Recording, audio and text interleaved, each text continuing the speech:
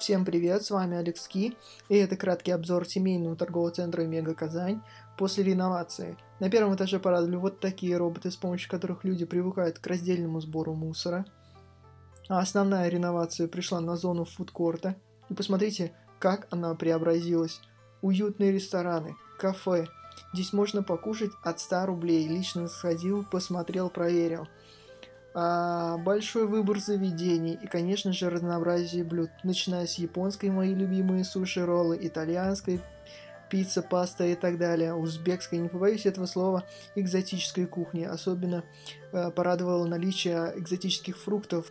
Очень обновленный и свежо выглядит интерьер. Порадовало отсутствие запаха еды, что немаловажно для торгового центра. Если понравилось видео, не забудь поставить лайк. Всем удачи, всем пока.